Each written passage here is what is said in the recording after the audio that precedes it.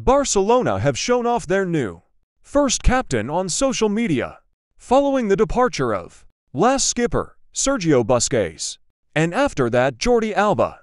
And Barcelona announced Sergio Roberto is new captain of Barcelona.